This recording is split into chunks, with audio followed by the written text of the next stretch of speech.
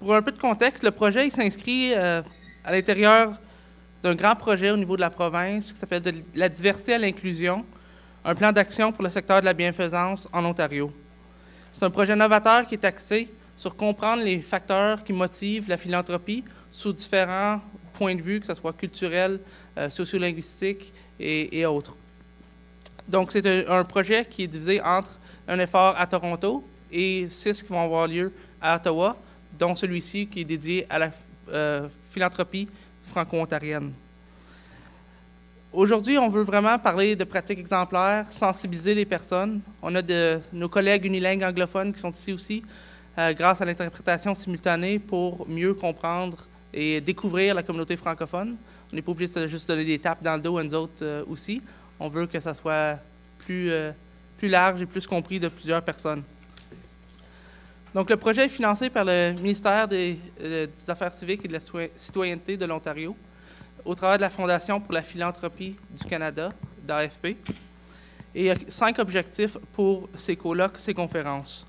Premièrement, il s'agit de développer des compétences culturelles en matière de philanthropie franco-ontarienne, peaufiner les outils d'identification, de fidélisation, de sollicitation et d'intendance par rapport à la philanthropie, apprendre les pratiques exemplaires et les partager, et mieux comprendre la diversité au sein des groupes franco-ontariens. Et finalement, offrir des possibilités de réseautage interculturel et faire avancer la recherche. Aujourd'hui, la, journée va plus ou moins commencer avec un petit survol euh, de la communauté, l'idée de placer le tout en contexte. Ensuite, on va avoir un, un panel de philanthropes et de bénévoles en philanthropie, un panel de professionnels et de cadres, Ensuite, tout le monde va participer à des groupes de travail, idée d'approfondir un peu les questions. Et c'est vraiment une, occasion qu'on vous demande d'ouvrir, partager honnêtement, non seulement les belles choses, les belles fleurs qui viennent, mais s'il y a des défis auxquels vous faites face euh, dans votre participation. Et euh, ensuite, il va y avoir trois invités qui vont participer et qui vont partager avec vous euh, leur expérience personnelle, un, un, petit aperçu en, en quelques minutes de ce que la philanthropie veut dire pour eux. Je suis ici au nom du chapitre d'Ottawa euh, de l'Association la, des professionnels en philanthropie. Mon nom est Daniel Brunette, je suis le président, mais j'ai aussi la chance de travailler avec la Fondation communautaire d'Ottawa au jour le jour. Avant de débuter et passer le micro à Denis, euh, j'aimerais juste faire quelques remerciements. Vous allez voir plusieurs personnes de Rogers qui sont ici aujourd'hui et leur appui a été euh, superbe au travers de tout ce processus. Euh, Madame Jette Graton qui va animer, on a euh, Pierre-Antoine Rivard-Paquet et Barbara Laurenstein qui vont aider à modérer les groupes, mais on a aussi tout le groupe euh, de Rogers et la conférence va apparaître sur l'émission Podium. Donc, ce n'est pas seulement les personnes qui sont ici qui vont être capables de le voir, mais aussi au travers euh, de toute la région. Le but est aussi que tout va être mis ensemble dans un projet final qui va être disponible en anglais et en français, et tous les apprentissages de cette grosse série de 12 conférences vont aider à, faire avancer le secteur au complet. Euh, je dois aussi remercier l'Université Saint-Paul. Euh, leur, soutien a été spectaculaire en fait de, de, baisse de coûts, juste d'ouvrir leurs portes euh, et d'accueillir le colloque avec des bras tout grands ouverts. Vous allez revoir pour remercier les, personnes qui parlent. On, on, voulait faire un petit quelque chose de spécial et plutôt que juste donner un item, on voulait encourager des commerçants locaux. Donc, euh, les, petits remerciements euh, aux panélistes et aux personnes euh, du comité viennent du domaine Perrault, qui est une bonne compagnie franco-ontarienne, un vignoble à Naven, qui est pas loin d'ici, et ainsi que pour les, Fran Franco du coin, euh, etc., nous a fourni du fromage Saint-Albert. Donc, on, vraiment, on voulait faire un petit aperçu sur nos produits locaux comme remerciement. Et ensuite, euh, le comité aviseur que vous allez voir dans votre programme, euh, le colloque n'aurait pas été possible sans eux. Euh, chaque, chacune des 12 conférences ont un panel, un groupe, un comité aviseur qui identifie les panélistes, les personnes, les thèmes de la journée. Et donc, c'est grâce à eux qu'on a une représentation d'un peu partout en Ontario. Et c'est vraiment à eux que je lève mon chapeau et je leur dis merci au nom de l'AFP. Donc, c'est tout ce que j'ai pour dire pour maintenant. J'aimerais vous maintenant vous présenter à Denis Vaillancourt, qui est très bien connu dans le domaine, président de l'Assemblée de la francophonie de l'Ontario, la voix de, toute la communauté, si on veut. moi, je connais Denis de son temps avec la faculté d'éducation à l'Université d'Ottawa. Et Denis, je vais l'inviter au podium pour faire un petit survol de la communauté franco-ontarienne. Merci.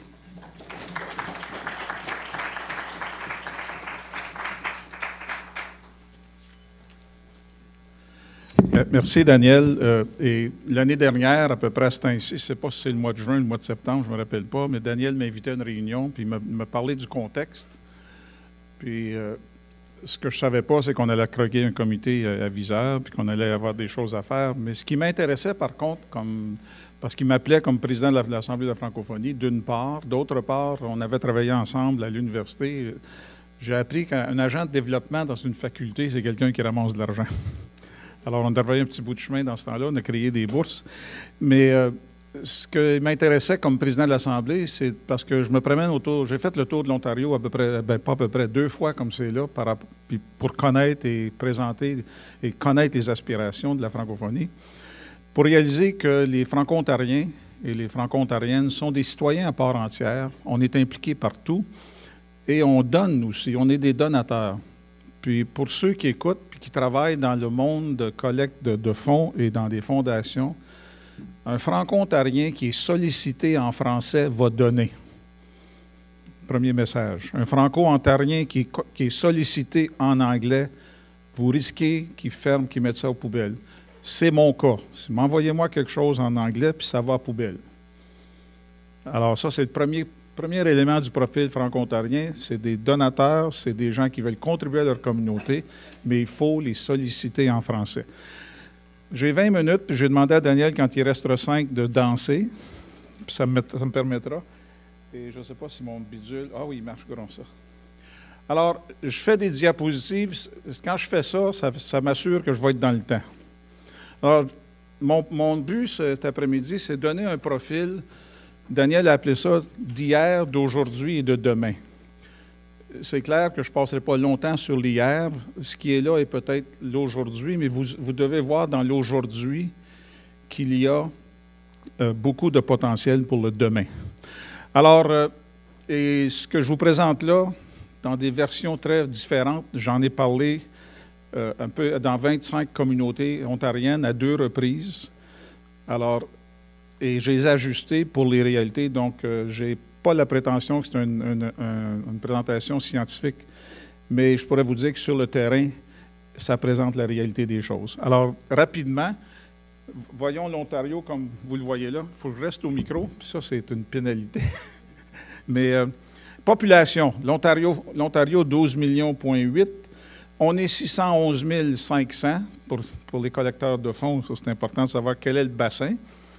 Euh, on est 4,8, on dit toujours environ 5% de la population. Ça reste pas mal stable au fil des années. Mais c'est une population euh, franco-ontarienne qui, est diversifiée sur deux plans, diversifiée sur le plan géographique. On a des endroits dans la province comme l'Est ontarien où c'est concentré. On a des endroits dans la province comme à Thunder Bay et Geraldton, Long Lac, où on est dispersé. Mais ce qui est fort intéressant dans la francophonie franco-ontarienne, c'est qu'elle est enrichie par des nouveaux arrivants, des immigrants d'un peu partout, des pays francophones à travers le monde. On peut penser à l'Afrique, on peut penser à Haïti, dans les Caraïbes, on peut penser à l'Europe et même l'Asie française. Et c'est pour ça qu'on dit qu'elle est diversifiée. Et elle connaît cette diversification de par ses origines, les peuples, les gens qui étaient là du début, et aussi euh, l'immigration francophone, qui est le facteur le plus important dans la croissance de notre communauté. dans le recensement 2006, on, on comptait 580 000 franco-ontariens. En 2011, on en comptait 611 500, comme c'est écrit. C'est la seule province hors Québec où la francophonie a augmenté entre 2006 et 2011. Pourquoi? Immigration. Et en Ontario, vous voyez le petit, la petite. Euh, si ça, ça marche, hein, Vous voyez le DIF, définition inclusive de francophone. L'Ontario a choisi de définir francophone pour fin de droit de scolarité. Toute personne qui est née, qui parle français, qui est à l'école française de 1, mais toute personne qui arrive d'ailleurs et dont l'une de ses langues est le français, est franco-ontarien, ça lui donne droit automatiquement d'accès à l'école de langue française. Et ça, c'est ce qui fait que, puis je vous dirais que c'est une définition, définition avant-gardiste au terme de nos droits de, la francophonie, nos droits de gestion scolaire, entre autres. La dernière chose que je veux dire sur la population francophone, c'est que en Ontario, et moi, c'est le message que je donne quand je parle aux parlementaires, quand on vous demande des services en français, on ne les demande pas pour 611 000, on les demande pour 1,4 million. Parce qu'il y, a y a 800 000 francophiles en Ontario, c'est-à-dire anglophones qui parlent français. Il y en a 400 000 dans la région 905-416 à Toronto. J'ai dîné à un moment donné avec le, le, statisticien en chef de Statistique Canada et il m'a rappelé, il dit, vous savez, dans le, ce qu'on appelle le, grand cercle d'Ontario, de, Toronto, le 416-905, il y a 400 000 anglophones qui parlent français. Donc, quand on demande des services, puis quand vous sollicitez l'importance de le faire dans les deux langues, on touche 1,5 million de parlants français. Donc, je dis toujours au gouvernement, vous offrez des services pas juste pour 600 personnes, c'est pour 1,4 million. Et nous, on n'a qu'à souhaiter comme communauté que le groupe de la langue majoritaire continue à évoluer et apprendre le français. Parce que nous sommes un pays bilingue et la, dualité linguistique, c'est un, un une caractéristique qui est unique au Canada. Le commissaire aux langues officielles, euh, commissaire aux langues officielles du Canada le dit, et le premier ministre le dit dans la feuille de route des langues officielles, la dualité linguistique, c'est un élément de notre identité canadienne. Fini mon pitch politique. Où est-ce qu'on est en Ontario? La carte que vous voyez là, les couleurs, ça vous indique que c'est la division de l'Ontario que l'Office des affaires francophones de l'Ontario propose toujours. Et ça veut dire, pour toute fin pratique, si on collait les, anglophones et des petits points, on est partout. J'en conviens que dans certains endroits, c'est plus dispersé que d'autres. S'il y avait des couleurs, euh, on, mettait. Évidemment, l'est, c'est la grande concentration, mais là, je vais vous amener au tableau des chiffres pour vous dire des choses intéressantes. Alors, c'est la division, puis ça, c'est basé sur encore 2011 et la définition inclusive que je vous rappelle. Dans le nord-est, nord-est, bien, c'est pour les gens de, ça, c'est la route 11, de Timmins, euh, North, North Bay en montant. Nord-ouest, ça, c'est de, ce qu'on appelle maintenant Greenstone, Long Lac, Geraldton, Thunder Bay. Et c'est très dispersé. Puis j'aime dire, il n'y a pas plus d'anglophones. Ben, il, y en a, plus, mais ils sont dispersés aussi. Dans, le centre, centre qui est Toronto, la région Toronto-Niagara, 183 000. Dans le sud-ouest, ça c'est euh, London, Sarnia, Windsor, 35 000. Et dans l'est ici, 257 000. Et là, les gens de l'Est, vous allez dire, yeah, on est plus gros. Observation. Comptez les deux ici. 183 000 à Toronto, 635 000, ça arrive, ben, c'est quoi? C'est 218 000, ça? On prévoit, si la tendance se maintient, comme vous disait Bernard de, Rome, qu'en 2020, le centre sud-ouest, les deux régions combinées ici, euh, au rythme de l'accueil de l'immigration, entre autres francophones, on va dépasser l'Est en termes de chiffres. Et c'est tout un défi en termes de services en français, mais c'est un phénomène intéressant par rapport à, ce que vous œuvrez dedans, la, collecte de fonds et la philanthropie.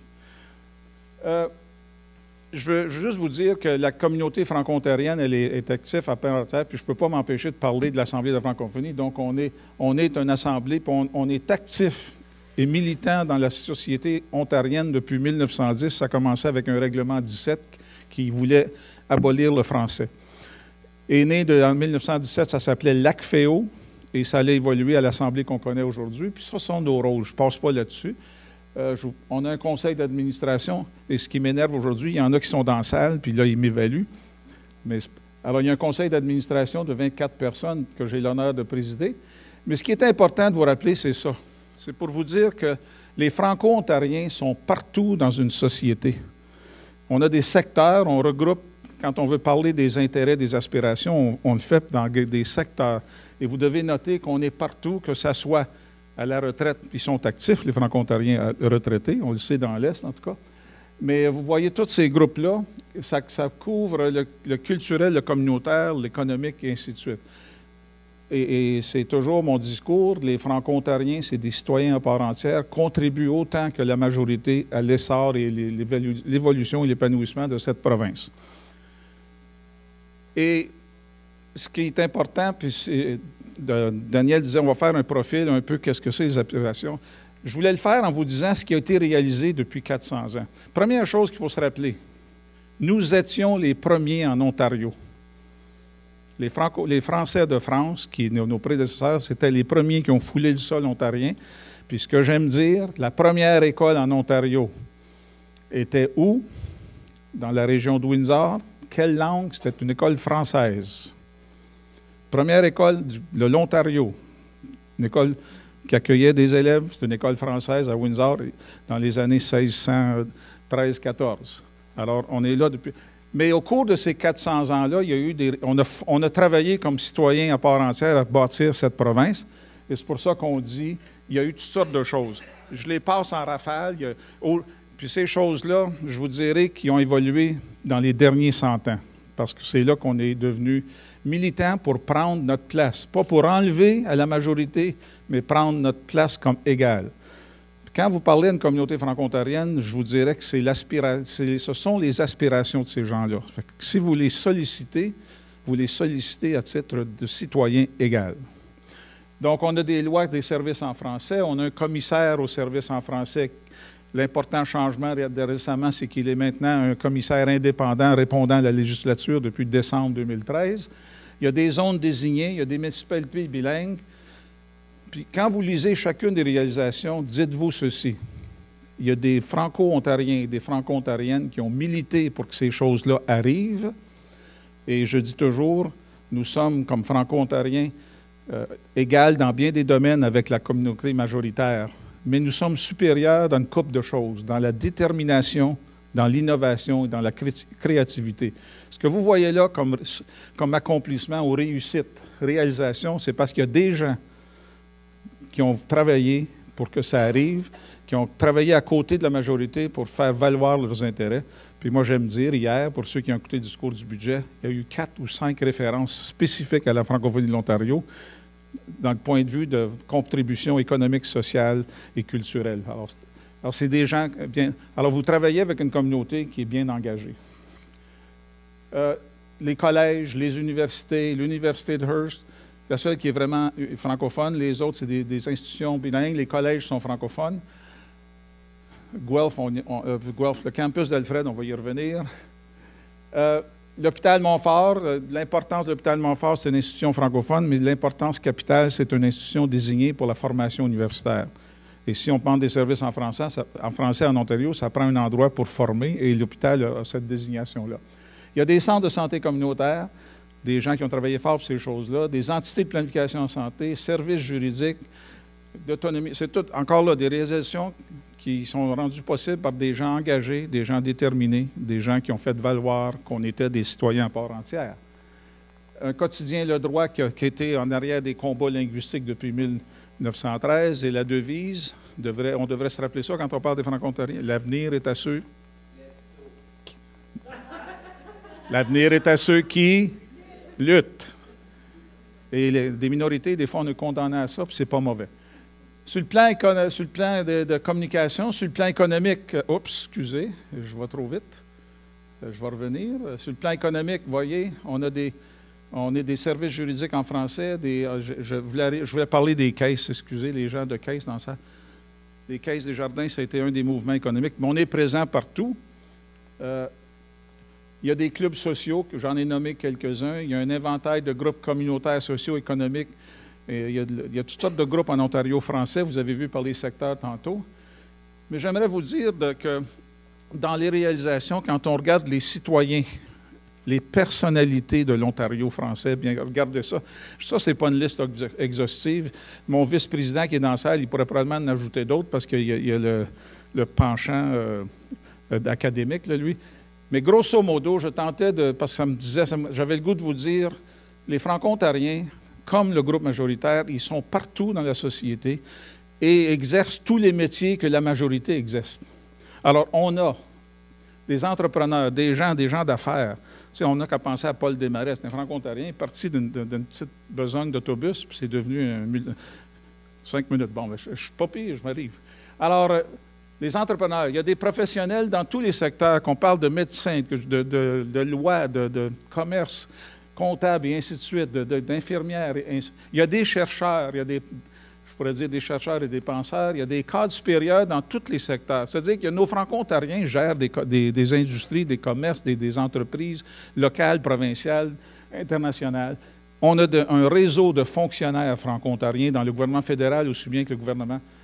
Quand je dis ces places-là, regardez à côté, imaginez les, salaires, voyez-vous, quand on est collecteur de fonds. Euh, des politiciens, on, est, des politiciens à, tous les niveaux. On a des artistes dans tous les domaines, des artistes franco-ontariens. On a des travailleurs compétents et bilingues. Travailleurs compétents et bilingues, c'est ceux qui ont regardé notre déclaration qu'on a faite hier.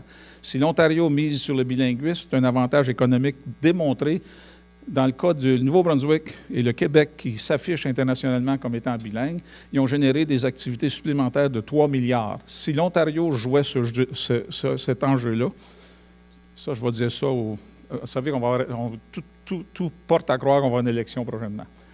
On a, pour finir la donne, on a des philanthropes, on a des, des fondations qui sont les nôtres, et on a des fondations auxquelles on contribue tous. Alors, quand on me dit que les francophones, des franco-ontariens, ce n'est pas des philanthropes, erreur. On a tous contribué à des choses. Je nomme des noms parce que quand j'ai travaillé au comité euh, aviseur, ici consultatif, j'ai rencontré du monde un peu partout. Il y en a que j'aurais aimé vous amener ici. Il y, a, un monsieur Desroches dans la région de Penetang qui est un, ancien euh, homme d'affaires dans, dans, les médias de communication qui est maintenant à la retraite puis qui a donné énormément à sa communauté. Pas en temps, en pièces. Il y a la famille Belland d'Earlton qui ont créé des fondations économiques pour, la région de New Lisgard, le Tri-Town, qui s'appelle aujourd'hui Timiskaming Shores, dans l'amalgamation. Il y a dans l'Est ici la Fondation franco-ontarienne, et si je vous disais, nommez donc des. Euh, il, y a, des messieurs Gingras qui, qui, sont, qui ont fondé, la, qui ont travaillé la Fondation. Vous avez tous, dans votre véhicule, connu des personnes qui sont réputées être philanthropes, des donateurs importants. J'ai mentionné tantôt Paul Desmarais qui a, Ce que, je voulais vous donner comme contexte final, parce qu'on s'en vient, ça, ça reflète certaines aspirations clés. Puis ces domaines-là qu'on a mis comme euh, aspiration pour, les priorités de la communauté franco-ontarienne dans les années, ça, c'est les messages que je donne au gouvernement. En santé, on est toujours préoccupé par des domaines de la santé, l'accès à des services en français, à l'éducation, l'accès au post-secondaire, une gouvernance universitaire. On parle de l'employabilité. On a beaucoup à contribuer là-dedans. On parle de communication. Et ça, c'est des choses que moi, nous avons, pas de moi, mais que nous avons entendu comme Assemblée se faire dire par les communautés. Ça devient des choses importantes. Le dernier, et non le moins, de l'immigration, continue à favoriser l'accueil, l'intégration de l'immigration francophone, parce qu'en termes de communauté minoritaire, notre capacité d'accueillir et de bien inclure les immigrants francophones, c'est un gage d'un avenir prometteur. Messieurs, dames, et tout ça, la francophonie s'articule autour de cinq grands axes qu'on essaie de mobiliser dans la communauté. Celle de, transmettre notre langue, notre culture. Notre objectif, c'est de transmettre la langue et la culture aux générations futures. Dans nos espaces, c'est celle de faire valoir la francophonie. Nos droits, de se rappeler qu'on a des droits. Moi, j'aime vous dire, les francophones de l'Ontario, c'est des gens qui sont déterminés. Il faut se présenter comme il y a des droits acquis, puis il y a des choses qu'on peut faire. Euh, on, a contribué comme francophone, comme philanthrope, comme travailleur dans les communautés. On paye des taxes comme tout le monde, puis on aide à l'économie ontarienne. Et on aide aussi au monde philanthropique. Il ne faut pas l'oublier. Et euh, on a du leadership à cultiver, à appuyer et à contribuer. Merci. Bonne discussion cet après-midi. Merci beaucoup, Denis. Euh, j'inviterai maintenant le, panel de philanthropes et euh, de bénévoles en philanthropie à venir à l'avant. On va juste lever l'écran et euh, replacer les choses en arrière. Tout le monde connaît probablement Ginette Gratton, une personnalité médiatique très connue et très respectée. Merci. Ginette a gracieusement, avec toute son expérience, accepté de, de, modérer les panels. C'est des questions qui sont revenues souvent au travers des années. Donc, pendant qu'on installe les micros et on, arrange le tout. Juste pour présenter, à, ma gauche, M. Dieudonné Détrou, qui est un avocat de profession avec le ministère de la Justice du Canada. Euh, ensuite, nous avons Solange Fortin, bien connue, de la Fondation franco-ontarienne, un bailleur de fonds très important dans le contexte aujourd'hui. Euh, nous avons aussi le docteur Éric Pierre, qui nous provient de la région de Toronto, et le fondateur de Perspective en travail humanitaire. Et ensuite, Diane Dubois, une consultante indépendante, euh, et très impliquée avec la Fondation Trillium de l'Ontario aussi. Donc, Ginette? Oui, dans un premier temps, j'aimerais remercier euh, Dan, de, et puis la fondation, comment ça s'appelle l'organisation qui, euh, excusez-moi, là, Fondation canadienne, euh, Fondation canadienne pour la philanthropie. il y a tellement de fondations de philanthropes et puis de professionnels. Merci, beaucoup pour ce colloque. Merci d'avoir inclus la communauté franco-ontarienne. Merci, Dan, de tellement bien nous représenter à la Fondation, à l'Association des philanthropes ici et les professionnels. Une chose que j'aimerais dire, euh, Denis, euh, j'ai beaucoup aimé ta présentation avant qu'on commence à tourner. Euh, des, il y a un des, médias communautaires qu'on oublie souvent quand c'est le temps de présenter. Puis je comprends pourquoi, parce qu'on n'est pas financé par les fonds publics, mais c'est TV Rogers. quand on n'est pas financé par les fonds publics, on est financé par les clients de Rogers. Mais pour qu'une compagnie comme Rogers continue de croire que la communauté franco-ontarienne est suffisamment importante pour investir et nous donner notre station indépendante avec un personnel de 15-20 selon les temps, euh, beaucoup de travail dans la communauté, notre présence régulière. On est trois, on est plus que trois ici. On a toute notre équipe de tournage. On a Barbara, Pierre-Antoine, moi. Euh, je pense que c'est un autre signe que euh, la francophonie, elle est très forte. Il n'y a pas d'obligation légale pour Rogers d'investir dans la communauté franco-ontarienne et acadienne aussi. donc, je pense que c'est important et j'inviterai les, gens qui ont Rogers dans d'autres régions de la province euh, de, faire, de, faire des pressions pour avoir aussi euh, cette chance parce que, comme Denis disait, on n'est pas rien que dans l'Est, on est partout.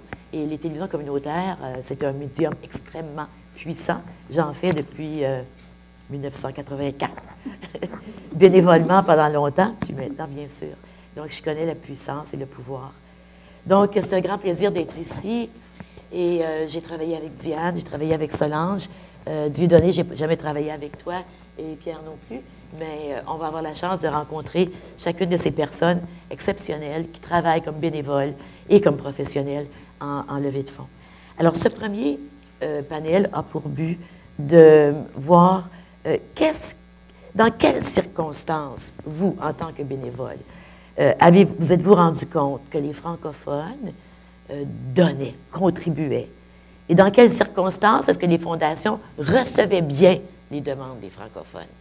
Alors, il y a deux côtés. Autant le côté euh, du bénévole qui s'en va sur le terrain essayer de chercher de l'argent, et le côté des bénévoles dans les associations qui font des demandes à des fondations. Donc, c'est large, on n'a rien que 40 minutes, 45 euh, minutes, mais on va tenter d'aller chercher le petit trésor qui est à l'intérieur de chacun pour être capable d'alimenter votre réflexion plus tard dans la journée. Alors, si je commençais avec... Euh, est-ce que tu as le goût de commencer, Diane? la première chose que je te demanderais, c'est dis-nous un peu euh, ton expérience en levée de fonds, comme euh, dans le monde de la philanthropie, et selon toi, dans quelles circonstances les francophones ont-ils été bien servis? On dit que la philanthropie, c'est l'amour de l'humanité. Donc, l'amour de la francophonie ontarienne, qui dans mon cas a toujours été une passion, donc euh, de s'impliquer euh, euh, au pied de mon père, disons, qui, a toujours été impliqué dans, le sud-ouest, dans le sud de Niagara. Quand j'ai déménagé à, à, London, il n'y avait aucune école francophone, il y avait pour les étudiants en région. Donc, en tout cas, on a créé le centre scolaire communautaire. Puis là, c'était la première fois vraiment euh, que la communauté francophone sollicitait la communauté euh, francophone et at large dans une région comme à London, est, où, c'est vraiment pas euh, dans la nature des gens de, donner de l'argent à la francophonie. Notre première levée de fonds de peine et misère, mais on a quand même prélevé 100 000 qui pour nous, ça a été un succès dans une région où les gens euh, je sais que les gens à Ottawa ne savaient même pas qu'il y avait des francophones à London. Donc déjà, c'était... Euh, et en faisant ça aussi, là, ça, démontre euh, la présence d'une francophonie plus large dans la province aussi. Donc, c'était la première expérience, mais c'est vraiment pas facile, surtout dans ces communautés-là, d'aller solliciter des fonds pour des organismes francophones quand les gens ne savent même pas qu'il y a une francophonie dans la région. Donc, c'est un défi euh, assez important. Euh, depuis euh, maintenant, disons, 30, 25 ans plus tard, je suis la première francophone qui siège sur l'équipe d'évaluation de la Fondation Trillium pour la région de Thames Valley, qui est les comtés d'Oxford, Middlesex et Elgin. Et il y a plusieurs groupes francophones donc, euh, qui, qui, se sont établis et maintenant qui font demande. Il y a une ouverture, c'est intéressant encore euh, euh, comment on peut les appuyer et comment maintenant au sein aussi de l'équipe anglophone, on peut faire valoir que les organismes francophones contribuent à la, à la société totale, mais surtout que la francophonie est très viable dans la région.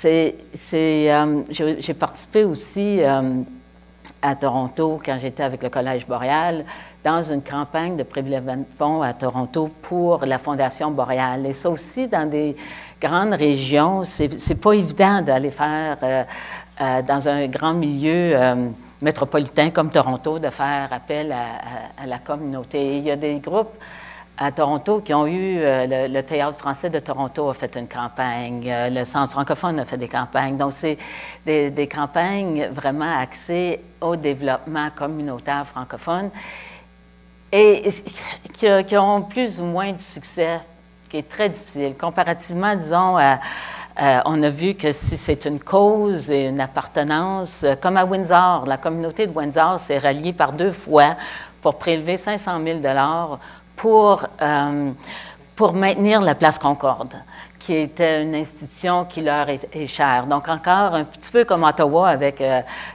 ben, Montfort qui a mobilisé toute la francophonie. Mais quand c'est la perte d'un organisme qui nous est cher, dans une communauté. Mais là, il faut qu'il y ait eu un historique aussi, parce que la, communauté francophone, Denis le dit, est là depuis 400 ans. Donc, euh, leur institution c'est plus facile de mobiliser. Quand on est dans des régions comme London, Hamilton, où il n'y a pas cet historique-là aussi, euh, c'est de plus gros défis parce qu'il n'y a pas ce sens d'appartenance-là et ce sens d'historique qu'on a quelque chose à sauvegarder. Euh, Donc, finalement, ce que tu nous dis, c'est que la, euh, la, vitalité de la francophonie et, le fait qu'elle est connue dans une région par elle-même et par la, la majorité, ça, fait, ça a un impact Absolument. sur le qu'on va chercher. La première chose, c'est la vitalité de la communauté. Et ensuite, quand c'est des causes, j'ai une question avant de passer à Dr. Pierre. Euh, une des choses, c'est euh, dans les 500 000, parce que c'est impressionnant à Windsor qu'on aille chercher deux fois 500 000 Place Concorde. Je sais, j'y étais, j'étais là, j'ai vu euh, qui étaient les personnes qui ont donné? Est-ce qu'il y a eu des moyens particuliers de les attirer, ces personnes-là? Dans le cas de la première euh, euh, campagne pour la Place Concorde, c'était vraiment les euh, les, vieux de la ville. Et l'engouement. C'est des gens, c'est la communauté rurale aussi, là, à Saint-Joachim, à Trois-Rivières, qui se sont vraiment rassemblés là, pour dire euh, ça nous prend ça. Et c'est ça l'autre défi aussi, souvent pour la francophonie. On n'a pas ces contacts-là corporatifs pour aller chercher des gros donateurs, là, euh, les Bill Gates, les, pour nous appuyer. On n'a pas ce, cet historique-là, surtout en dehors d'Ottawa, là, euh, des, des, gens qui sont dans des institutions euh, euh, corporatives là, qui peuvent donner un, gros montant. C'est ça. on va continuer là-dessus. Alors, ces, ces, gros donateurs qui ont un effet d'accélération sur les autres. Il faut dire aussi que Place Concorde, euh, c'était pas une cause, mais c'était un engouement. Écoute, c'était un immense centre absolument de toute beauté qui appartenait aux Italiens, à la communauté italienne. C'était la communauté italienne avant que qu'il l'avait abandonné, ouais, ouais. qu'il l'avait laissé aller, mm-hmm. et puis les francophones voulaient avoir ça. Mm-hmm. Il y avait tout là-dedans, restaurant, salle de spectacle, extraordinaire. Euh, bon, si on allait maintenant euh, à vous, euh, docteur Pierre, vous êtes, vous, avez, vous êtes fondateur de la Fondation Entraide humanitaire Perspective. Entraide humanitaire. Quelle est votre expérience? Dans quelles circonstances les francophones ont-ils donné chez vous? Bon, je crois que j'apporte à la table une expérience un peu plus diverse, euh, plus éclectique. Euh, en tant que président fondateur de Perspective Entraide Humanitaire et francophone, euh, j'ai dû m'ouvrir, bien ouvrir nos activités à d'autres communautés, aussi bien naturellement que la communauté franco-ontarienne. Mais je dirais que la contribution franco-ontarienne représentait peut-être une marge plutôt, je ne dirais pas insignifiante, mais une marge relativement petite euh, dans le cadre de, nos activités. Et ma participation dans, une rencontre pareille euh, ouvre mes yeux sur les opportunités euh, qui sont devant moi et qui peut-être me donnent la possibilité de euh, d'ouvrir mes activités sur la communauté franco-ontarienne. Euh, j'ai, dès le départ, il y a, y a une phrase euh, qui a bien attiré mon attention et peut-être qui, a été l'une de mes erreurs. Et peut-être qu'il y a d'autres gens unilingues ou bilingues, francophones, anglophones, qui pourraient bénéficier de ça. Euh, nous avions l'habitude de, solliciter même, euh, même le Collège boréal euh, à, Toronto d'envoyer des lettres en anglais.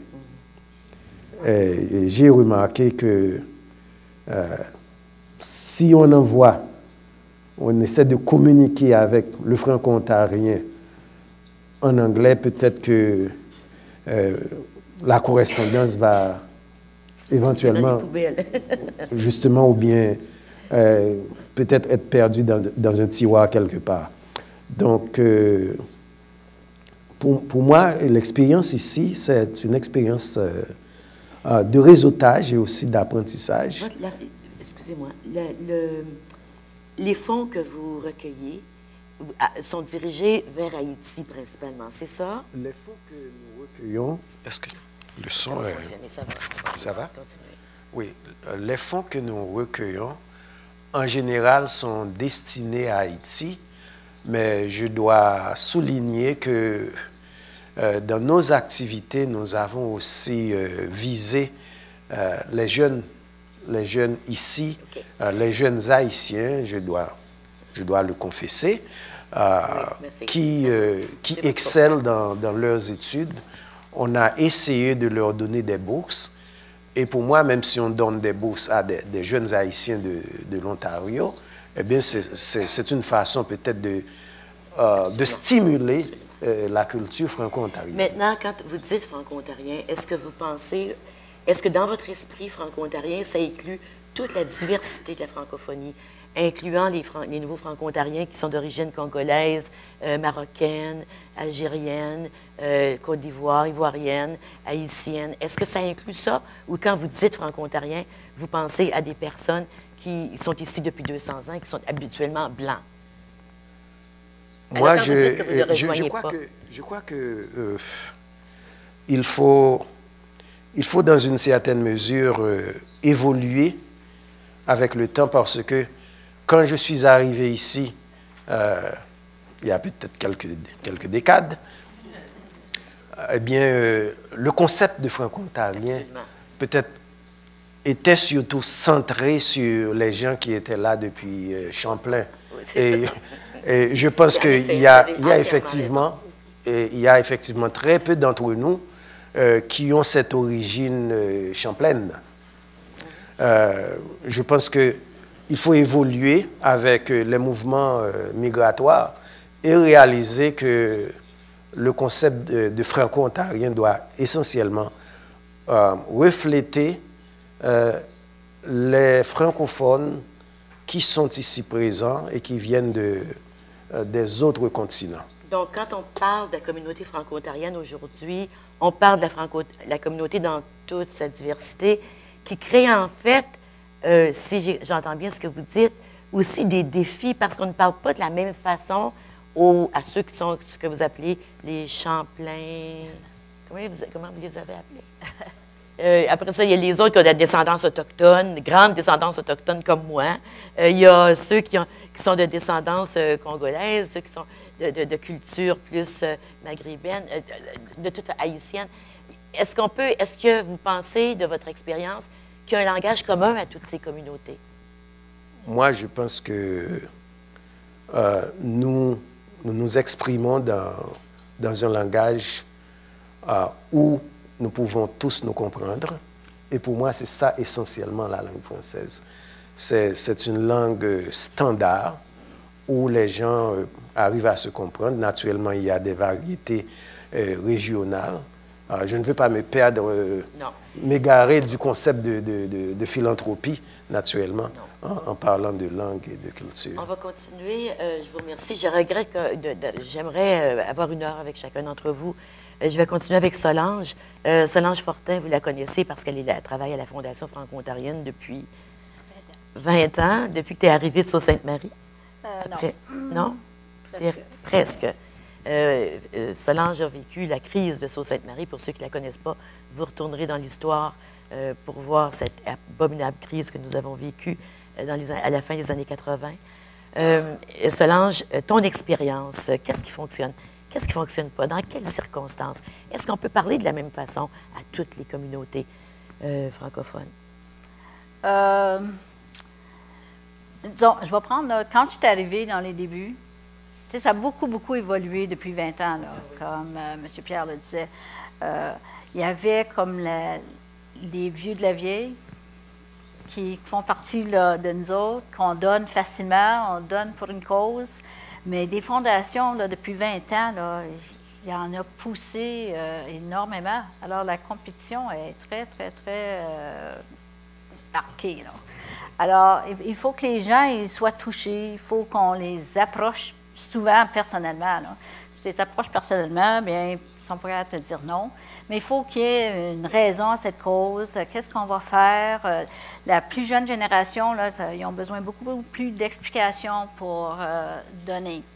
Alors, comme à la Fondation, notre défi, c'est d'aller chercher euh, les générations qui poussent, les jeunes. Quand tu dis qu'il faut leur donner des raisons, est-ce que tu peux nous donner des exemples des raisons? Parce que la Fondation franco-ontarienne, c'est immense. Pour ceux qui ne la connaissent pas, il y a la Fondation comme telle, et la Fondation gère aussi des fonds de dotation, dont 46. On est presque à 50, là. Une cinquantaine de fonds. Donc, n'importe quelle des associations, des personnes.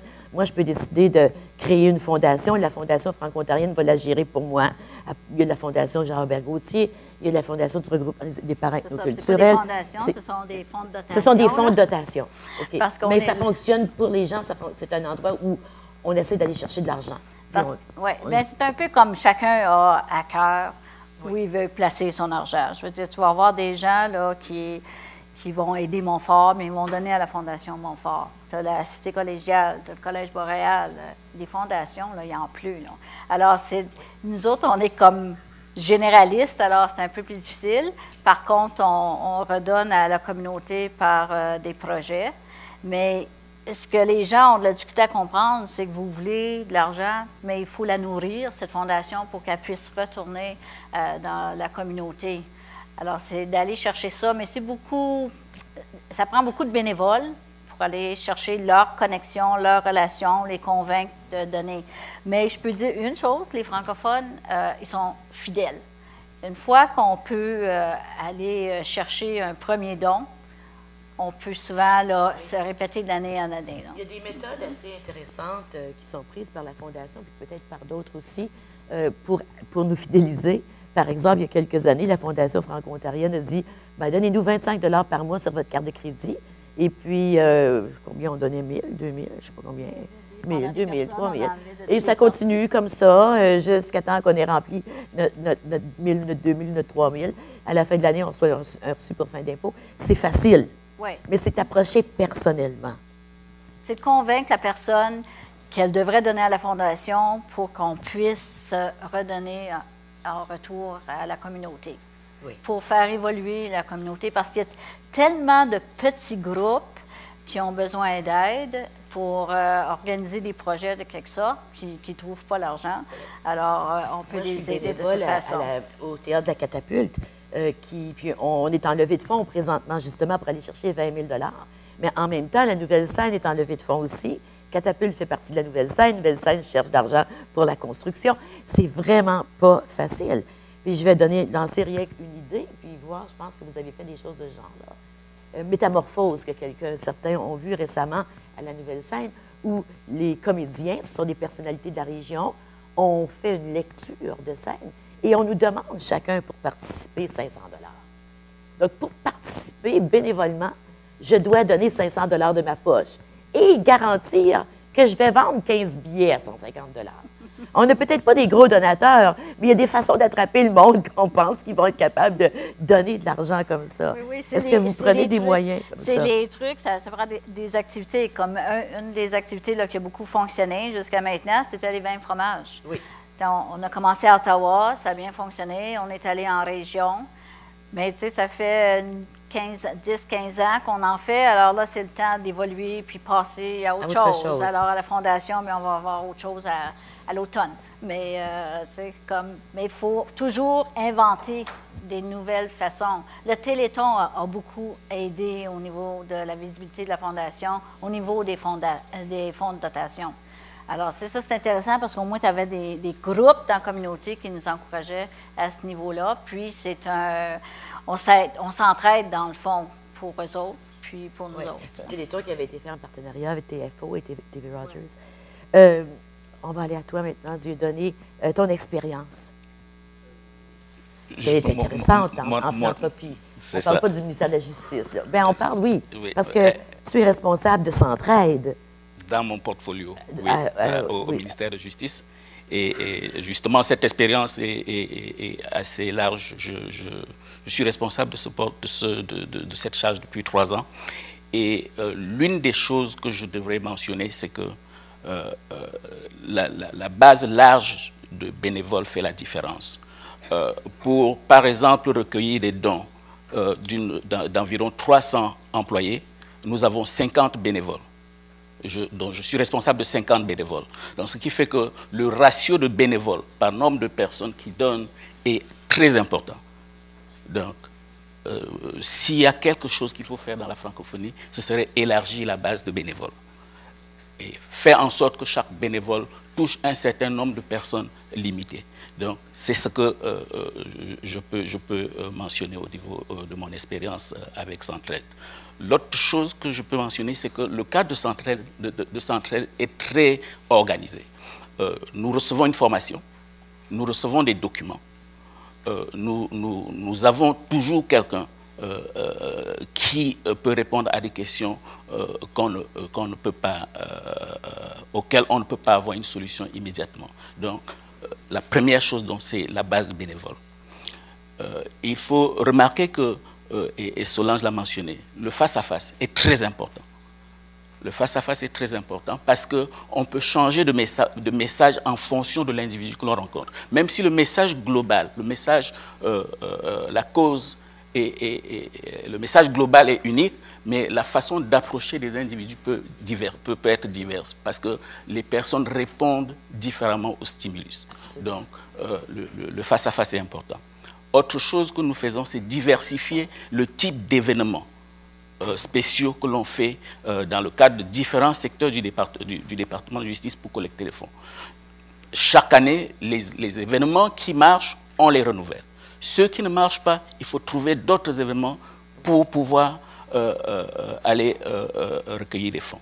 Donc, il faut tenir compte des bénévoles, modifier les événements en fonction des, circonstances et, surtout, surtout, faire du face-à-face.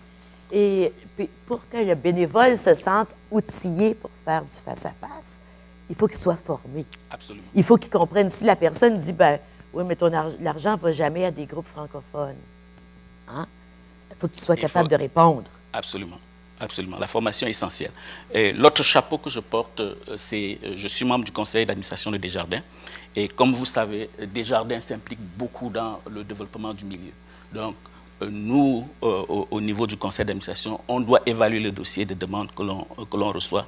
Et une fois de plus, ma collègue Solange a, mentionné le fait qu'il y a beaucoup d'organismes philanthropiques mais très peu de donateurs, parce euh, euh, faut décider avec un certain nombre de fonds que l'on a, et, les fonds sont généralement donnés à ceux qui sont capables de euh, pouvoir vendre facilement la, cause qu'ils sont en train de, de soutenir. Oui, vas-y. L'importance de sentir que la cause vous touche personnellement. Denis, quand tu as présenté euh, les fondations, tu as dit ici à Ottawa, on a la Fondation franco-ontarienne. Bien, la Fondation euh, franco-ontarienne, pour moi, là, si vous voulez de l'argent, venez dans ma région, dites-moi, si vous donnez de l'argent ici, ça va aller à votre région. Là, les gens, puis vous l'avez fait, puis on se l'est approprié. Mais comme francophone aussi, dans les régions, si vous nous dites, euh, la Fondation à Ottawa, venez nous donner de l'argent à Ottawa, bien, vous allez voir que nous autres en région, on n'est pas intéressés. On veut appuyer nos francophones dans nos communautés. Donc, cette idée que, si on va donner, on va avoir un effet positif, on va appuyer notre communauté. C'est critique, ça. Sinon, euh, on n'est pas porté non plus à donner. Donc, euh, Donc, personnaliser le message, mais pas personnaliser le message sans changer, comme tu disais, euh, du donner, sans changer la mission et puis la raison d'être. Euh, sans raconter des histoires, sans mentir. Euh, il faut connaître qu'est-ce qui va toucher le cœur de cette personne-là. Toi, tu dis, une des choses qui touche notre cœur en région, c'est que dites-nous pas que ça s'en va à Ottawa. Ça, c'est une. On sait que c'est une, chose qui dure depuis toujours. Ce n'est pas d'aujourd'hui. Dites-nous pas que ça s'en va à Ottawa. Dites-nous que ça s'en vient dans notre région. Et puis que ça correspond à ce que à nos besoins. À nos besoins et à notre communauté. Oui, oui. Euh, vous, qu'est-ce que vous diriez que c'est? Parce que je pense que c'est un point qui ressort, personnaliser le message. Qu'est-ce que vous diriez? comment on pourrait personnaliser le message? Je pense que la façon de personnaliser le message, euh, c'est essayer de trouver une façon euh, pour passer le message, disons, à l'interlocuteur pour lui montrer que, par exemple, ce qui se passe, euh, disons, dans les milieux populaires, euh, disons, ou bien en dehors même du pays, c'est quelque chose qui le concerne personnellement. Parce que parfois, on, peut être trop centré sur le local, sur l'immédiat. On ne voit pas, et, ça arrive pour beaucoup de gens, ils ne voient pas comment ça implique leur vie, comment ça leur dit quelque chose, leur dit quelque chose de personnel. En général, euh, quand je m'adresse euh, à des gens, naturellement, euh, je dois essayer de, de, les toucher et leur montrer qu'il y a leur petite vie personnelle, il y a leur famille, il y a leur communauté, mais il y a aussi quelque chose de plus large. Euh, il y a aussi la dimension internationale. Euh, peut-être qu'ils ne considèrent pas assez, mais qui va se refléter sur, leur, vie, euh, sur leur vie personnelle à long terme et peut-être à moyen terme. je suis, naturellement, en tant qu'haïtien, j'ai été vraiment touché et j'en parlais à quelqu'une euh, dans la salle. Après le tremblement de terre, j'étais en Haïti. Euh, et dans l'avion, dans, les deux directions, il y avait beaucoup plus de non-haïtiens que d'haïtiens. Euh, et je pense que ça, ça a été un indicateur du fait que les gens, ils s'approprient, ils s'approprient le désastre. Ils, ils, se disent que ce qui vient de se passer en Haïti, ça me concerne. Et je pense qu'il faut, toujours prouver, trouver une façon de communiquer ce message aux gens que ma cause et votre cause, ce sont des causes complémentaires.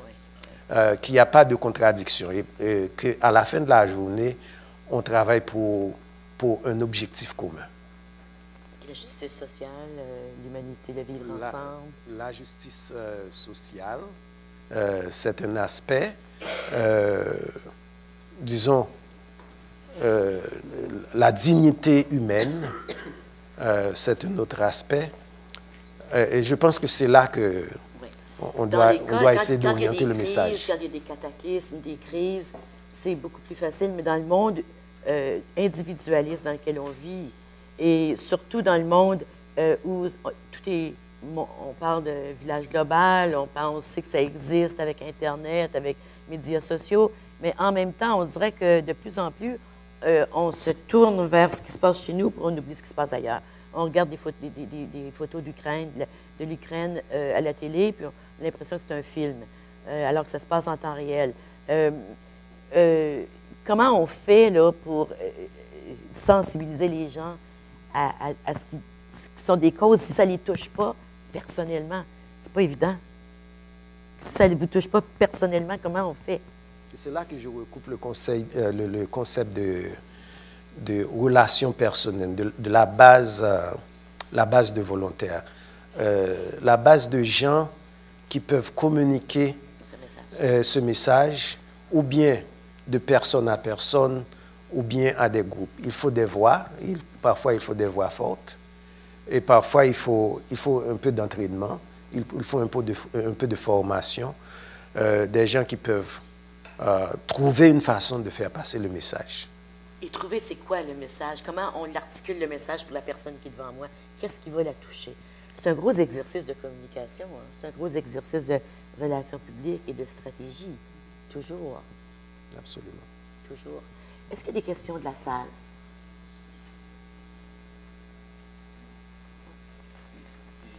Euh, oui, euh. Question pour les panélistes. Est-ce que, euh, à la lumière des nouvelles technologies,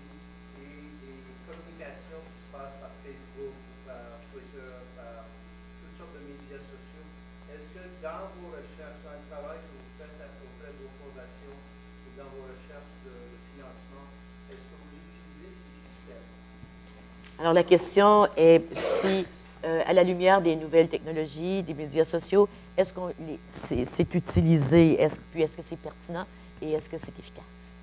Moi, je pense qu'il faut, actualiser nos, stratégies. Euh, depuis, quelques années, nous avons un site web, haitiaide.ca. Euh, nous avons aussi essayé de communiquer par Twitter, par Facebook, mais nous, avons un défi, et le, défi essentiel, c'est euh, le défi des, volontaires parce qu'il faut beaucoup de bras, il faut beaucoup de têtes, il faut beaucoup de, gens qui, qui, soient capables de communiquer. Euh, on, peut, on peut facilement avoir euh, un Twitter ou un Facebook, mais il faut, il faut constamment maintenir ça. Euh, il faut maintenir les nouvelles. Donc, ça, c'est un défi. Est-ce que c'est un défi? Pour aller chercher la nouvelle génération? Est-ce que c'est un, moyen pour aller chercher la nouvelle génération? Moi, je pense que oui, ça s'en vient. Même nous autres, on, fait du développement à ce niveau-là, parce que ça, ça on, va les manquer. Mais ça, ce qui manque, c'est comme un peu de la formation pour générer les messages où les gens vont s'arrêter, puis le regarder, puis faire le suivi. Alors, tu sais, c'est... Parce qu'on on, on dit qu'il faut personnaliser pour toucher le cœur comment on touche le cœur à travers Twitter, comment on touche le cœur à travers Facebook, comment on touche le cœur à travers euh, le site web, à travers YouTube. Euh, comment on touche le cœur? Sans, toutefois rejeter l'idée d'utiliser la nouvelle technologie, je pense qu'une visite dans une école ou dans une université où on parle face à face aux jeunes fait plus d'impact que de déposer, mettre un message euh, sur un site web. Les jeunes ne vont pas forcément aller regarder sur un site web pour voir où ils peuvent donner de leur temps, sauf, sauf par exemple si ça leur apporte quelque chose. Et il y a par exemple des messages comme celui de dire aux jeunes, participer dans une organisation philanthropique permet d'étendre son réseau de connaissances. Ça permet de laisser une empreinte dans la société, ça permet euh, euh, de, pour, les jeunes des communautés multiculturelles de s'intégrer dans la société d'accueil. Ça, c'est des messages qui peuvent être porteurs. Mais néanmoins, il faut aller vers des gens, il faut aller dans les associations. Mais malheureusement, ça prend des bénévoles, ça prend des gens qui peuvent sortir pour aller le faire. Et ce que tu viens de nous dire, c'est une façon de trouver des bénévoles, d'aller sur place et de démontrer. Les jeunes, les ados sont avides de contribuer dans des causes de justice sociale. Moi, je reçois régulièrement des demandes à l'émission des groupes de jeunes qui veulent aller partout dans le monde ou qui font des choses extraordinaires. Et ils veulent. Il s'agit de les embarquer et de leur donner les bonnes raisons. Diane, les effets. Moi, je pense que où les nouvelles technologies deviennent importantes et surtout, euh, euh, peut-être pas Facebook et Twitter, mais se servir euh, de, l'ordinateur pour les groupes qui demandent des fonds. Parce que ça prend du temps à faire des demandes de subventions. On l'a tout fait en tant qu'organisme qui cherche de l'argent. Ça prend du temps, ça prend de l'énergie, ça prend de la concertation. Puis, comme bénévole d'un organisme quelconque qui recherche du financement, si tu peux faire ta demande en ligne, ça t'appuie énormément. Donc, la, Fondation Trillium, justement, maintenant, permet aux euh, organismes euh, qui veulent faire des demandes de fonds de le faire en ligne. Et le, feedback est très, très positif. Ils disent, tu ça nous permet de garder ça, d'aller euh, le, retravailler, de revenir, de l'envoyer. Si vous êtes obligé de nous le renvoyer, là, on est en train de faire des visites, on va voir les groupes. Il faut ajouter un petit peu d'informations. Tout ça se fait en ligne, puis ça facilite énormément la communication. Donc, encore là, ça prend du temps à faire des demandes de fonds en tant qu'organisme francophone ou communautaire. Une question que je voudrais toucher avant la fin, et il nous reste euh, une dizaine de minutes. Euh, c'est, vous avez parlé de personnaliser le message, vous avez parlé d'élargir la base de bénévoles, de former les bénévoles, d'avoir une façon de, les, de leur répondre, de répondre à leurs questions de façon régulière, de personnaliser les messages. Euh, et non seulement les messages, mais l'action aux besoins de la région ou du groupe culturel. Maintenant, euh, comme vous, vous, donnez des bourses à des jeunes haïtiens, des jeunes euh, franco-ontariens d'origine haïtienne qui réussissent, qui excellent. On, veut de l'argent pour notre région, pour nos besoins à nous. Maintenant, vous avez mentionné qu'on n'a pas des, des, grands noms qui donnent beaucoup. Ou s'il y en a, on ne les connaît pas c'est pas parce qu'il n'y en a pas, là. il y en a des franco-ontariens qui font extrêmement beaucoup d'argent, puis je peux vous en nommer. Euh, euh, pourquoi on n'est pas capable de les rejoindre? Pourquoi on les a... Est-ce que c'est parce qu'on ne les approche pas? Parce qu'on n'a pas rejoint leur cœur? je pense qu'à un certain euh, niveau, ça je voulais dire, il faut aller chercher des leaders dans les communautés pour aider à aller chercher ces gens-là. Parce qu'il y en a. Comme tu dis, on, en connaît, mais il faut être capable de les regrouper, puis en parler, puis se trouver un plan pour développer cet aspect-là. Puis je pense que ça, c'est une partie là, que les francophones ne sont, sont, pas rendus là. On n'est pas rendus là. Mais ça s'en vient. Hein. Est-ce que l'argent est encore considéré quelque chose de gênant? À aller demander, quand on va demander de l'argent? Est-ce qu'on est embarrassé encore un peu, les francophones? Moi, je pense que c'est une expérience assez douloureuse. Euh, essayer d'aller demander de l'argent. Euh, oui, c'est assez difficile. Mais euh, quand même, on doit regarder au-delà de, sa petite personne et réaliser que ce qu'on est en train de faire, c'est adresser un problème qui est beaucoup plus large que, sa petite personnalité, que ses petits besoins, euh, ses petites émotions. Et essayer quand même, en dépit euh, des réserves qu'on peut, on peut avoir, essayer quand même d'aller approcher les gens euh, d'une façon ou d'une autre pour, pour faire avancer les causes qui, qui nous concernent. Oui, oui, oui. Euh, mon, mon expérience est assez différente parce que j'ai peut-être eu le, privilège de travailler pour Centraide. Ben c'est une organisation qui est très connue et c'est facile de porter le chapeau de Centraide. Parce que quand on vient pour demander ces fonds, on ne demande pas pour nous. Donc c'est facile de dire je demande pour telle cause. Et, ils ont de la documentation et ils ont, avec la formation qu'on reçoit, on, peut, on est prêt à répondre à des questions. Euh, et, puis, euh, il n'y a pas un montant maximal que l'on demande. On demande juste de contribuer. Et, l'un des atouts que l'on peut utiliser dans, nos communautés francophones, c'est utiliser justement le concept pyramidal qu'ils utilisent. C'est-à-dire, vous avez un chef d'équipe, vous avez en bas du chef d'équipe des sous-chefs d'équipe, vous avez comme, une pyramide qui fait en sorte que les bénévoles à, la base ont un nombre limité de personnes, mais ils répondent à, une personne qui peut coordonner un groupe, et, c'est ça. Donc ces personnes vont dans les bureaux, et, c'est facile d'approcher les gens qu'ils connaissent, c'est facile d'approcher les, collègues qu'ils connaissent. Donc dans la communauté francophone, euh, oui, il y a certainement des gens qui connaissent ces gros donateurs. Comment est-ce qu'on peut utiliser euh, un gros donateur qui donne déjà à rencontrer son collègue pour le nom de la, par exemple pour la fondation? Il dit, bon, en fait, je suis aussi bénévole pour la fondation. Est-ce que tu pourrais euh, contribuer? Donc. Centraide, puis Centraide a réussi un tour de force, je pense, c'est que euh, c'est tellement valorisé dans les milieux de travail, ça devient presque une compétition à savoir qui va donner le plus entre les différents bureaux. Euh, la personne qui s'occupe de Centraide est libérée pour un certain temps pour être capable de s'occuper de ça. Donc, il y a eu euh, un, enracinement de, la philosophie centraide dans nos milieux. Euh, peut-être essayer de calquer ce C'est ça. Et, puis, pour les gros donateurs, euh, à la fin de la levée, on les invite au restaurant et on les reçoit, on, leur parle, et puis ça fait encore une possibilité de réseautage entre ces gros donateurs. Donc, c'est ça. Si les, les, les, les, organisations philanthropiques peuvent aussi créer cette synergie, comme aujourd'hui, entre les différentes fondations. On est rendu à un point où on pense que d'amener quelqu'un au restaurant pour le remercier de quelque chose qu'il a fait, que c'est de la contribution. c'est pas toujours mauvais, C'est correct, On peut amener les gens au restaurant pour les remercier de quelque chose. Absolument. Euh, il y avait une question dans ce coin-là, je pense que c'est vous, madame.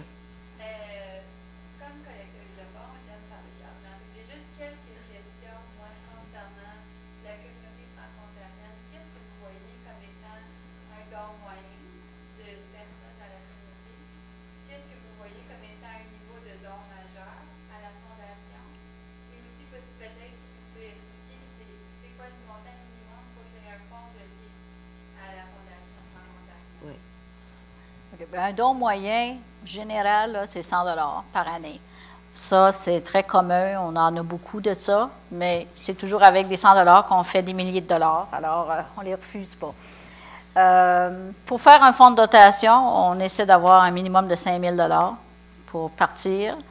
Puis, les groupes s'occupent de prélever des fonds pour mousser le fonds, parce qu'à 5 000, euh, on n'aura pas beaucoup d'intérêt à remettre à ce groupe-là. Mais on a, on a plusieurs fonds là, qui ont 100 000, 200 000, 250 000, qui produisent, alors ça paraît au niveau euh, de la communauté. Puis ton autre question, c'était, oh, les gros donateurs, moi, je te dirais, c'est 10 000 en montant.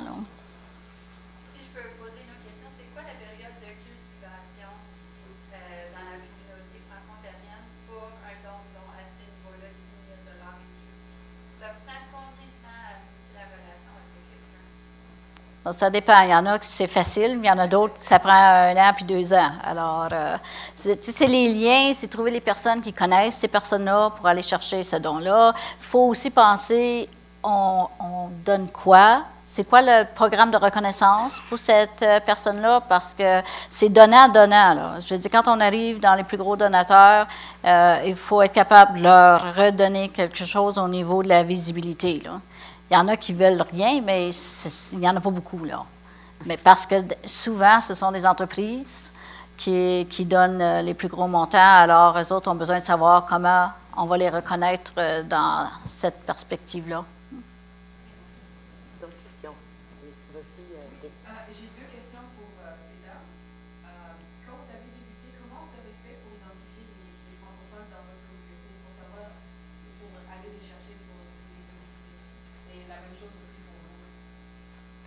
Ça commence avec euh, les organismes qui sont sur place, avec leur euh, liste de membriété, avec leur, euh, leur, leur, contact, à savoir comment est-ce qu'on peut aller les reconnaître. Puis à London, c'est quand même une petite communauté de 6 000.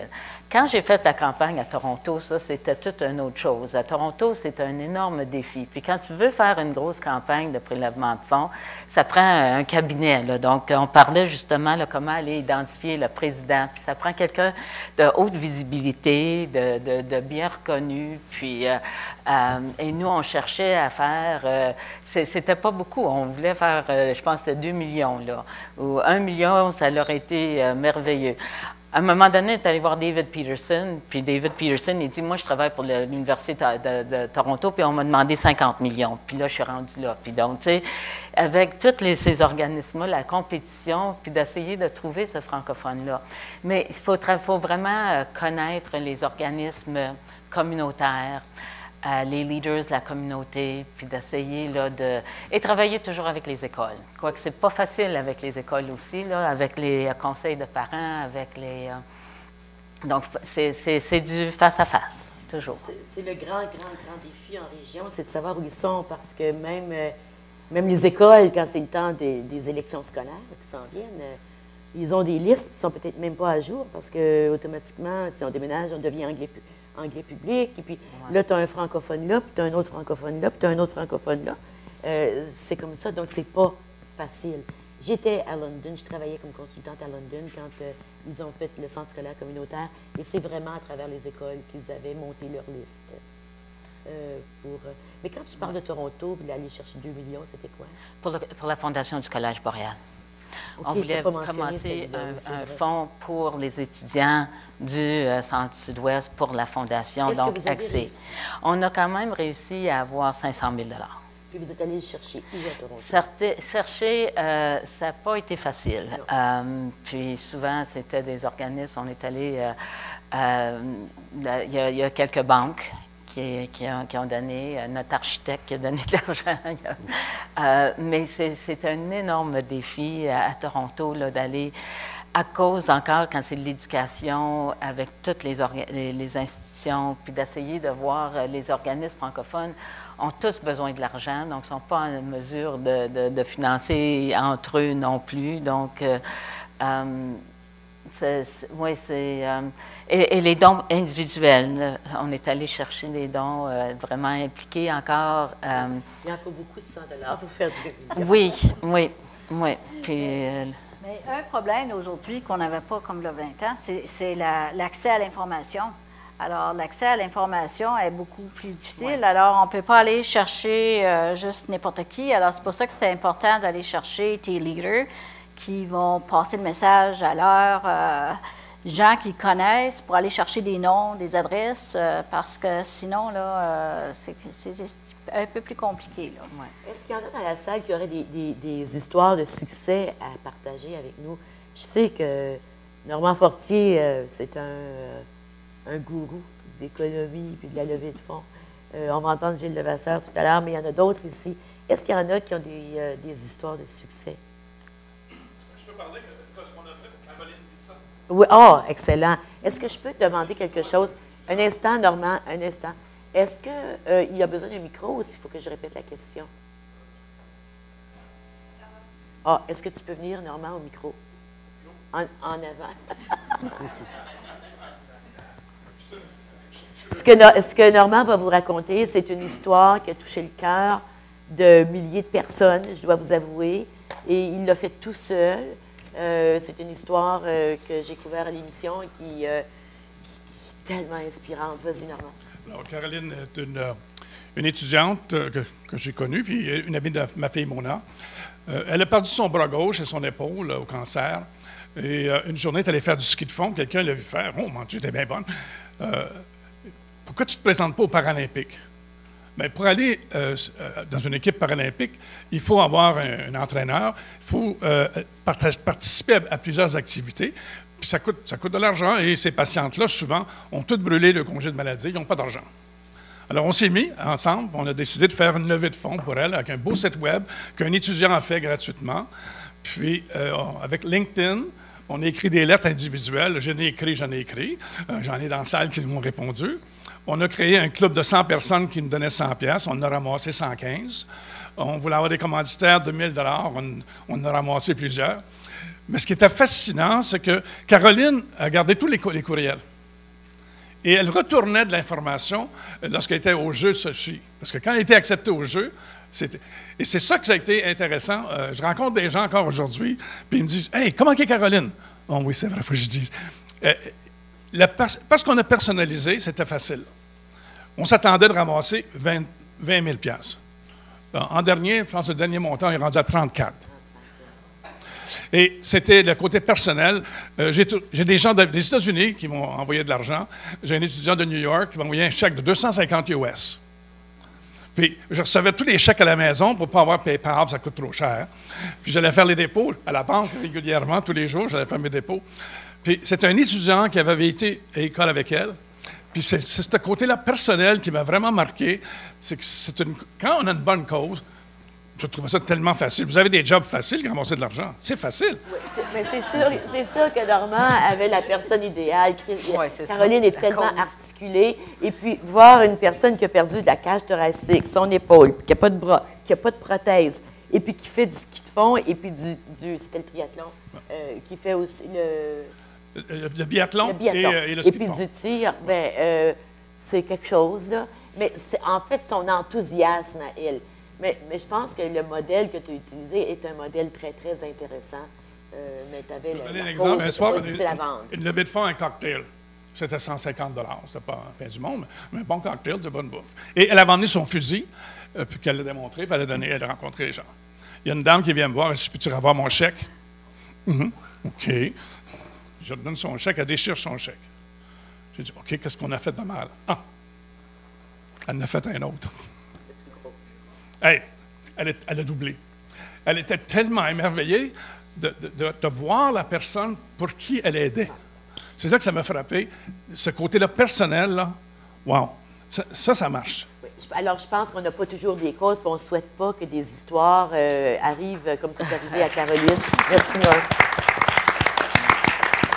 On ne souhaite pas des, histoires comme euh, c'est arrivé à, Caroline Bisson, une jeune professionnelle en communication extraordinaire, avec qui j'ai travaillé dans le passé, puis qui est remplie de joie et encore aujourd'hui.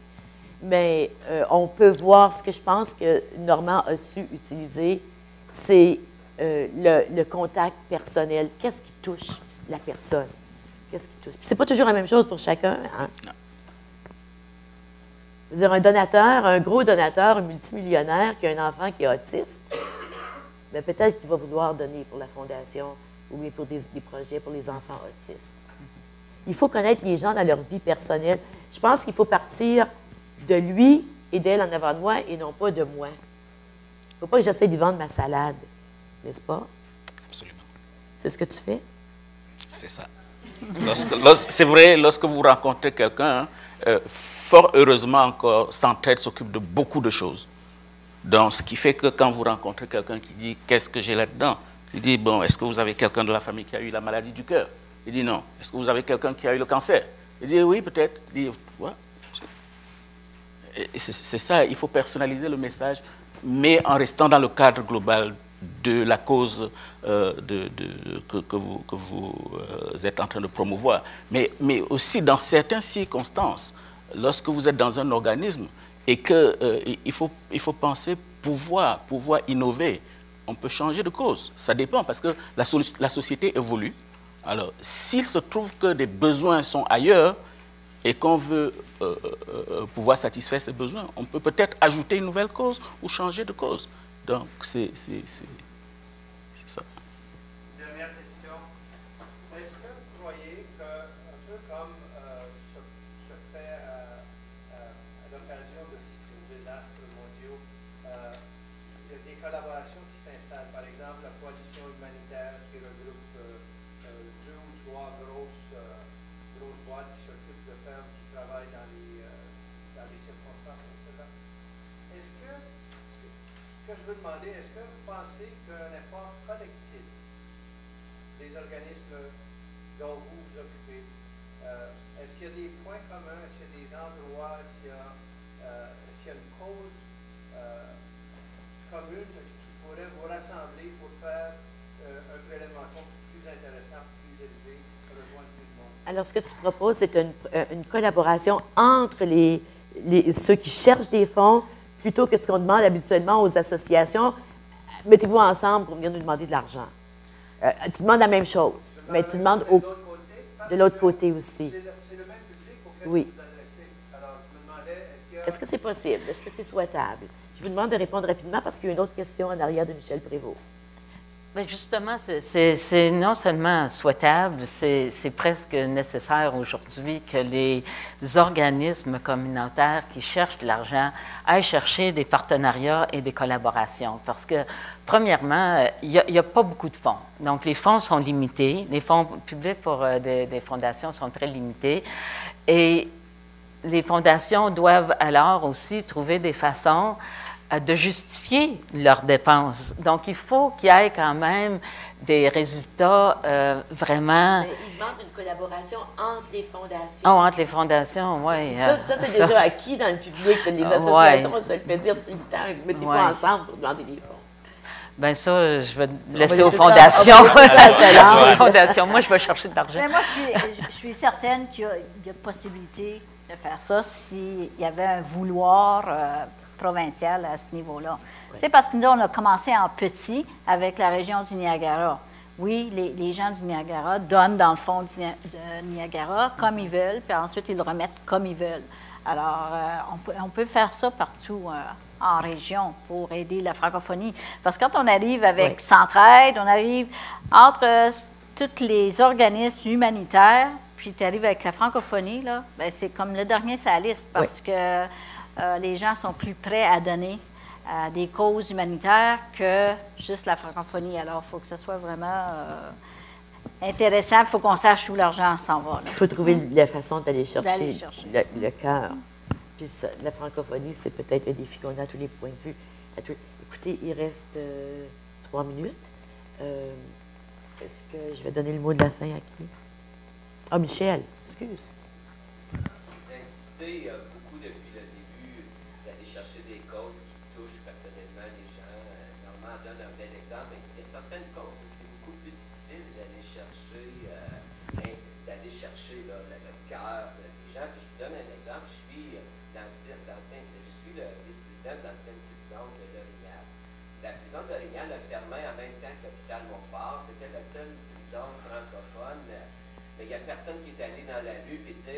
fils est allé en prison, elle a sauver la prison, mon mari a passé 20 ans en prison.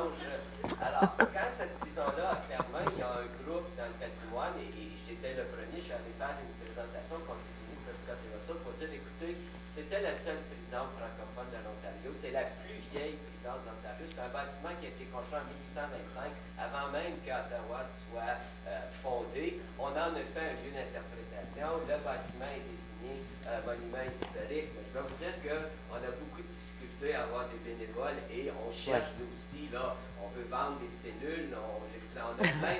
de Michel, tu as probablement choisi l'exemple le plus farfelu, mais très, très réel et très valide. Mais, mais, on comprend très bien ce que tu dis. Ah, oui, oui. Oui, oui, on comprend très bien. C'est pas toujours fait. C'est juste pour vous dire qu'il y a des causes. Oui. On pourrait penser aussi aux maladies orphelines. Alors, il y a des causes où c'est beaucoup plus difficile. Absolument. Oui. Avoir des trucs là, pour aller chercher les gens. Oui. Il faut avoir des trucs pour aller chercher des gens, mais euh, ce que tu as fait, toi, avec la prison, euh, de, de c'est quand même une façon d'aller chercher les gens. Peut-être pas pour tenir la prison, maintenir la prison active, mais peut-être pour maintenir l'édifice et le patrimoine qui était là. Centre d'interprétation. Oui, centre d'interprétation de, de quoi? De l'ancienne prison de l'Orignal, et on met l'accent sur l'histoire locale, régionale, il y a des pièces de théâtre. Alors, là, c'est sûr que, écoute, c'est comme, euh, je reviens à mon exemple de la catapulte, qui fait du théâtre pour, pour les jeunes, les, jeunes, adolescents, du théâtre absolument extraordinaire ben euh, ça va pas. C'est dur d'aller chercher le cœur de tout le monde pour donner pour le théâtre, pour les jeunes. Euh, quand on comprend, quand soi-même, peut-être, on va pas au, théâtre, on comprend pas, on pense que le cinéma a remplacé le théâtre. Dans la société actuelle, le théâtre, ben, c'est quoi au juste? On comprend pas ce que ça veut dire dans, dans le développement de la personne. Donc, c'est tout. Il y a des fois qu'il faut quasiment faire de l'éducation en même temps euh, de la personne. pour qu'elle puisse comprendre. Ah, là, je comprends, puis je suis prête à le faire. Donc, qu'est-ce qui fait que ça va toucher les gens? C'est pas toujours facile.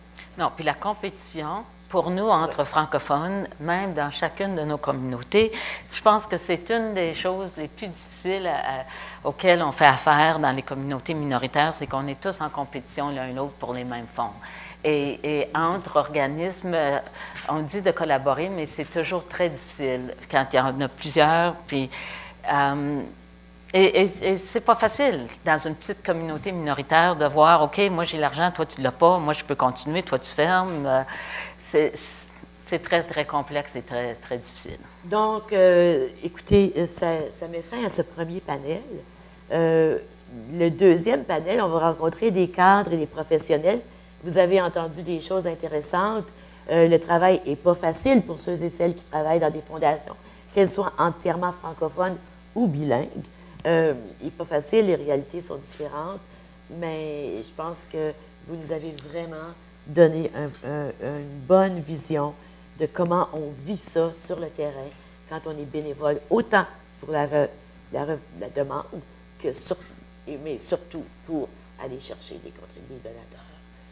Merci Diane, merci Dr Pierre, merci Solange, merci, merci. Merci à vous aussi.